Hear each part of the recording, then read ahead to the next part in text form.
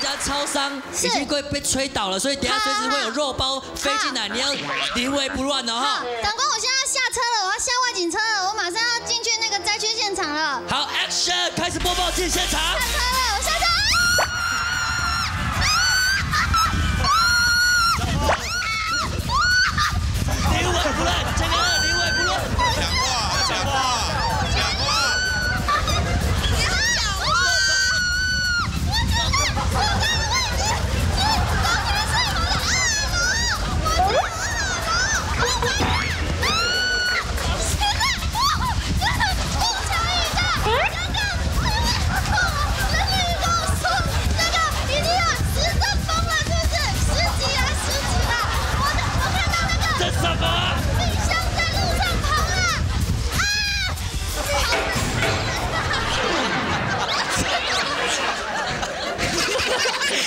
你怎么变这样？那变萧伯，而且你到底讲了什么？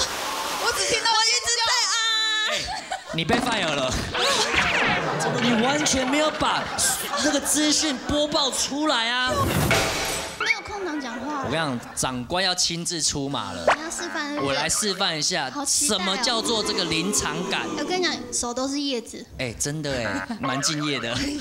加油！好，那你现在变我长官哦。好，好我。来连线。嘿，主播，主播有听到吗？主播，啊啊，记者，我们现在要把现场交到你那边了。林博生，你准备好了吗？好，我准备好了。哎好，画面跳给你。哎，是的，是的，主播，我现在是人在云泉东路六段中天电视台的这个这个现场对面的对面的，哎呀，对面的，哎呀。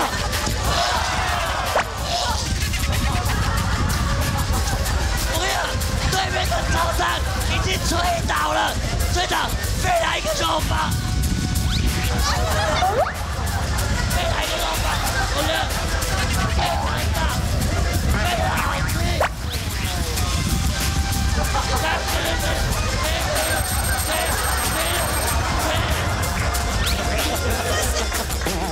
你要讲风速啊，你要讲快一点啊！嘴巴都肉包怎么讲？我要听肉包啊！我要吃肉包，就是啊，我要买不到。我要接肉包，哎，有肉包，树叶全部都进到我的喉咙。我跟你讲，然 后他们找的叶子，枯叶，那种那个叶子的边边是有锯齿状的那种，给我割喉咙，我要怎么播报？你顶多找个什么榕树叶，你找这个旁边有锯齿状的叶子是想要怎样？毁容了这个。而。且你的肉包，你刚刚讲什么？其实我也听不出来。我刚才讲说，对面已经有一个便利超商被吹倒了，还飞来一个肉包，接着还非常好吃。